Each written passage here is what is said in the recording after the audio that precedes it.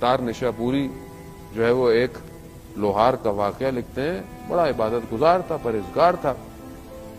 एक लड़की आई, कनीस थी। उसे देखा उसको आशिक हो गया। अब हर चीज़ करा, लेकिन उससे नहीं मिल पाया।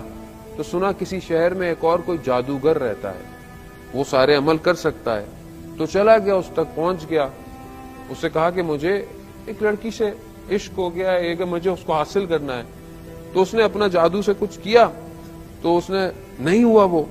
कहा कि तुम नमाज़ पढ़ते हो? कहता हाँ मैं पाँच वक्त की नमाज़ पढ़ता हूँ। कहा, अल्लाह का ज़िक्र करते हो? कहता हाँ मैं अल्लाह का ज़िक्र करता हूँ, नेक काम करता हूँ। कहा, चालीस दिन तक सब छोड़ दो।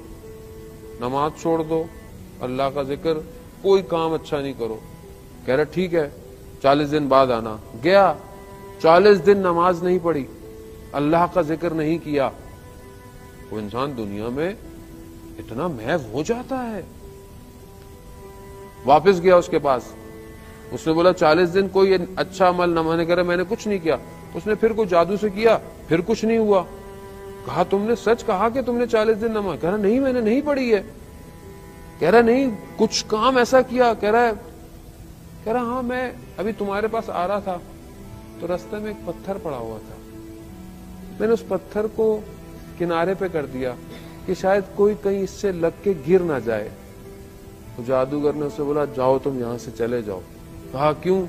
कह रहे वो चालीस दिन तुमने नमाज़ नहीं पढ़ी, ज़िक्र नहीं किया, मगर फिर भी खुदा तुम्हारे कदमों से तुम्हें बचा रहा है। खुदा इतना मेहरबान है।